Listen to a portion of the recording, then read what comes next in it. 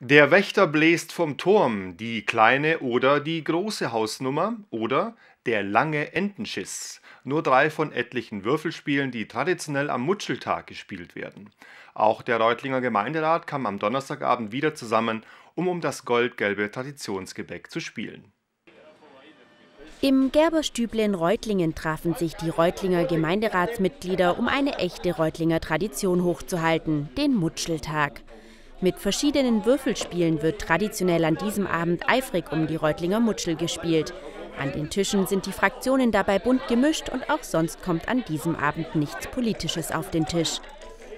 Hier wird gerade das Spiel Die kleine Hausnummer gespielt.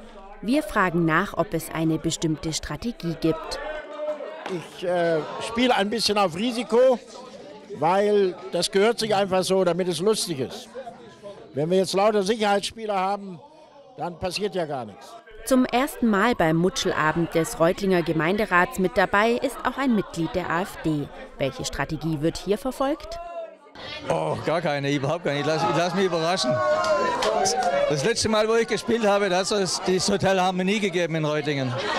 Das ist schon einige Zeit her. Etwas Platz für Sticheleien gibt es dann aber doch. Zum Beispiel als FDPler Hagen Kluck seinen Kollegen Helmut Reutlein von der SPD vorwirft, er würde sich mit fremden Federn schmücken, weil er den Sieg seiner Frau als einen gemeinsamen Sieg verkaufen würde.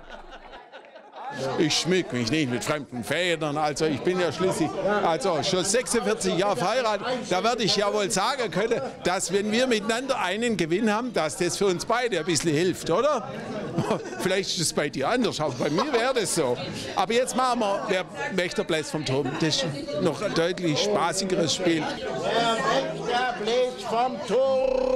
Spaßig dann vor allem für Treutlein, denn Kollege Kluck bekommt den Würfel nicht vom Becher geblasen.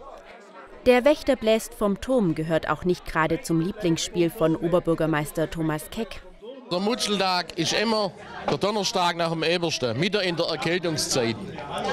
Und die ganze Stadt bläst ihre Bazille schräg über den Tisch. Und auf Mutschle, die haben extra mal Flädlesuppe ausgelagert, damit ich nichts abkriegt. Ich mag, deshalb mag ich das Spiel nicht. Nachdem er die Mutscheln mit einer Serviette abgedeckt hat, hat er dann genug Puste, um den Würfel vom Becher zu befördern. Zur Mutschel selbst gehört von jeher auch ein deftiges Essen, klassischerweise ein Wurstsalat. Auch ein Bier oder ein Glas Wein passt hervorragend zum mürben Hefegebäck. Einige Häuser weiter im Reutlinger Vis-à-vis -vis wird ebenfalls fleißig gemutschelt. Hier hatten sich die Reutlinger Grünen Abgeordneten zum Wettstreit getroffen.